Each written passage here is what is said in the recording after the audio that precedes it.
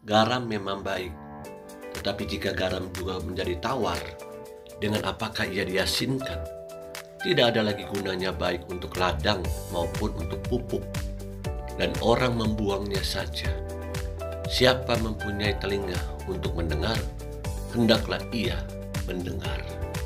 Tentulah sebagai orang percaya, kehidupan kita harus berdampak berbeda dengan orang-orang dunia ini.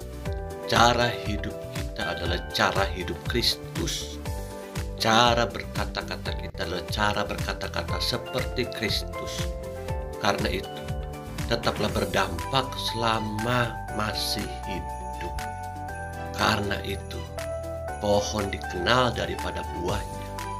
Buah kita akan dilihat oleh orang-orang sekitar kita bahwa kita adalah murid Kristus. Haleluya. Amin.